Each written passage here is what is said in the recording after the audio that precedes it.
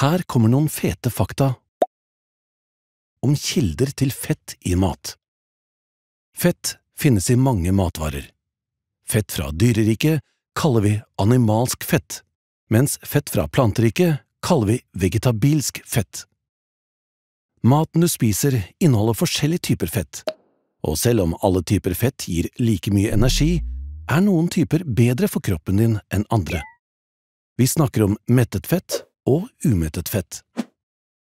Animalsk fett er kilde til mettet fett, mens vegetabilsk fett inneholder hovedsakelig umettet fett. Fet fisk er også kilde til umettet fett.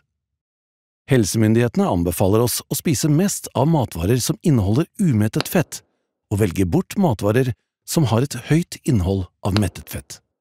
Eksempler på matvarer med umettet fett er nøtter, avokado, matoljer, margarin og flytende margarin, fet fisk som laks, ørret, sild og makrell, og majones. Mat som inneholder mettet fett, kan være fete kjøttvarer som pølser, kjøttdeig, medisterkaker og salami, fete meieriprodukter som smør, fløte, rømme og iskrem. Det er ikke alltid like lett å se om en matvare inneholder fett eller hva slags fett matvaren inneholder. Noe kan du finne ut av ved å se og kjenne på fastheten til matvaren, mens andre ganger må du lese på matvaredeklarasjonen.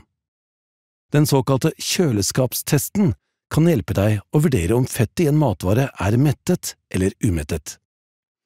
En enkel huskeregel er at fett som er hardt når du tar det ut av kjøleskapet, inneholder mye mettet fett.